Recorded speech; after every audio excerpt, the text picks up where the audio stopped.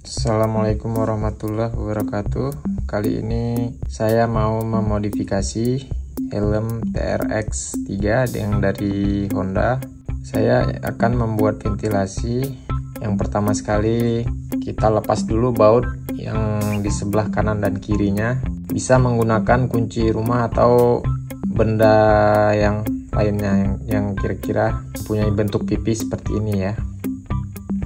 Oke, kita lepas. Kemudian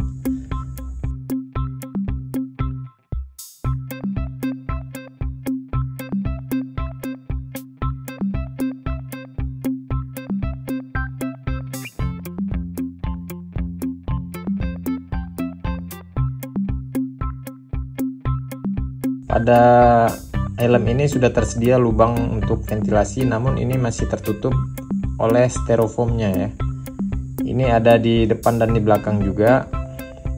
Jadi yang pertama kita lakukan yaitu melubangi uh, styrofoamnya. Saya di sini menggunakan solder. Jadi mulai aja dilubangi.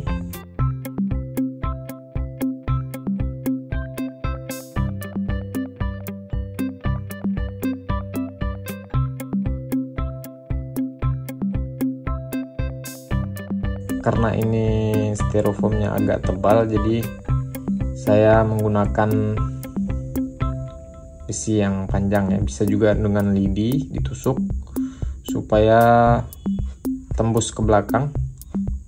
Oke setelah tembus ke belakang ini sebaiknya ditandai menggunakan spidol supaya nanti mempermudah pada saat pemotongan styrofoamnya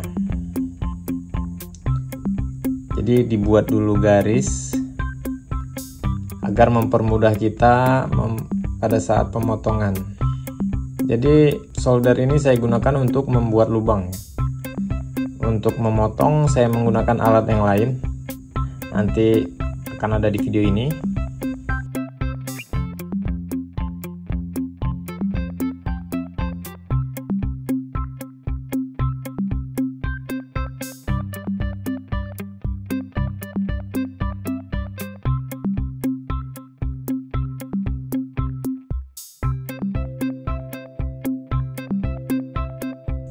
setelah saya garis seperti ini hasilnya ya. Ini garis menggunakan spidol sebagai uh, penanda saja supaya nanti pemotongannya menjadi rapi. Tujuan dipotong itu supaya udara bisa mengalir dari lubang depan ke lubang ke, ke lubang belakang. Jadi lubangnya ini udah cukup bagus ya untuk mengalir udara melalui lubang-lubang ini. Ini saya gunakan senter supaya lubang terlihat jelas. Ya supaya yang nonton bisa melihat juga. Tuh jelas. Oke kemudian saya menggunakan alat pemotong styrofoam. Alat ini ada di video saya sebelumnya. Buat yang mau nonton sudah saya sertakan link di deskripsi jadi alat ini buatnya cukup mudah ya. Bisa juga menggunakan cutter jika nggak mau membuat alat ini.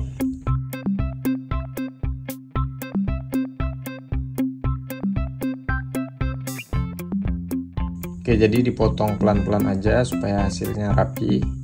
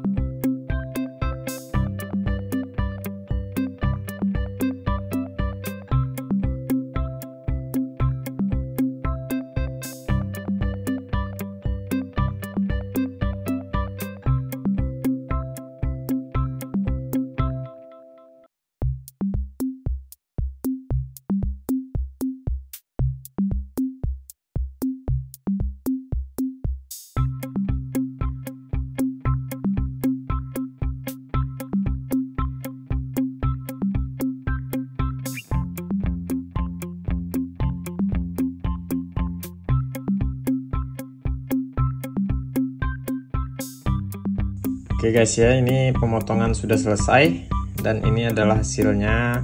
Ini agak susah dilihat ya karena saya nggak ngelepas uh, sponnya, kain-kain helmnya saya nggak lepas.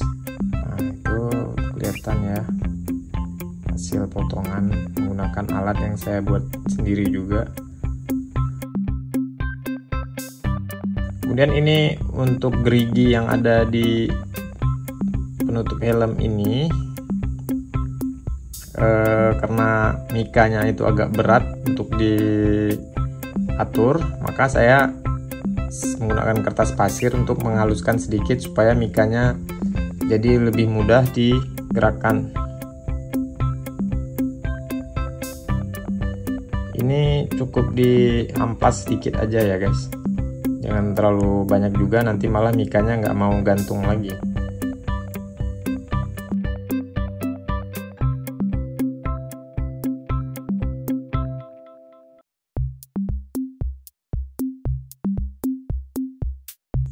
Oke, kira-kira cukup segini aja saya gosok sekitar uh, eh, 2 menitan gitu.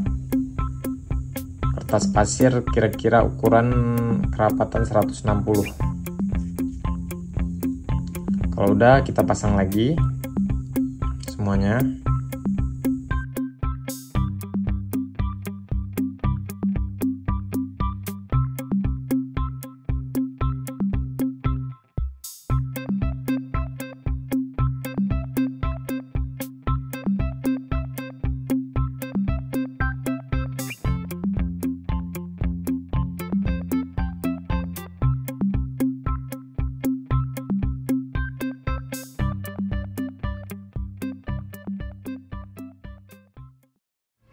Oke okay guys, jadi kita akan mencoba apakah helm ini berfungsi mendinginkan suhu di dalamnya atau enggak.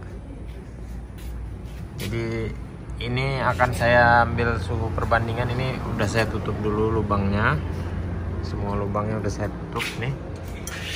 Pakai lem selotip. Ini udah saya tutup ya kemudian nanti akan saya masukkan termometer ke dalam. Ke dalam sini ya. Akan saya masukkan termometer. Menggunakan termometer seperti ini ya. Yang ini. Ini ada kabelnya ya. Ini saya bawa dua termometer sebagai pembanding ini tapi angkanya berbeda terus ya dari tadi. Saya nggak terpasang ya.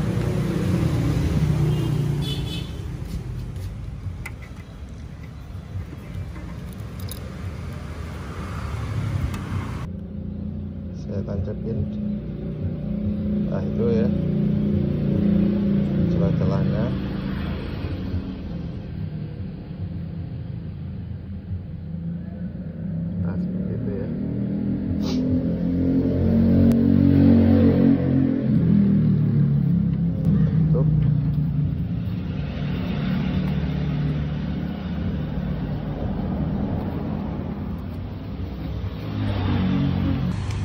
Jadi ada perbedaan suhu lagi ya. Ini di yang di dalam helm ini yang di tangan saya 35,6 derajat sedangkan yang di luar 34,1 derajat. Ini sebagai pembanding aja ya yang yang ini sebagai pembanding tapi kita patokannya tetap yang ini ya. Ini menggunakan masih ditutup selotip helmnya artinya belum terventilasi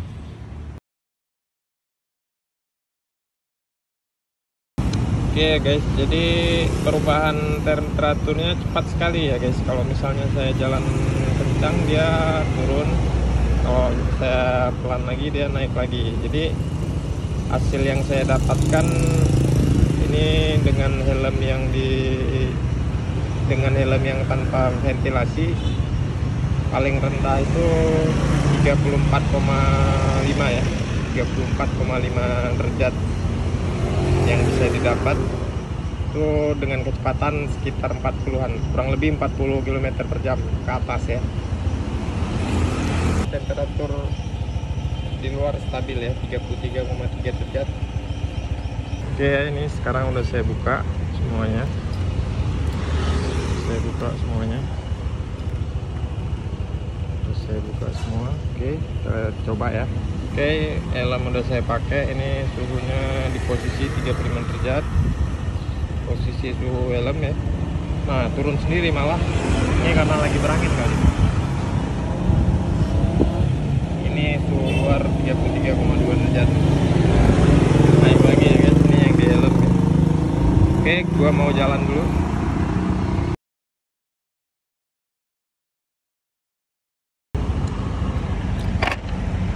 ya guys ini suhu suhunya 33,4 derajat. Suhu luar 32,6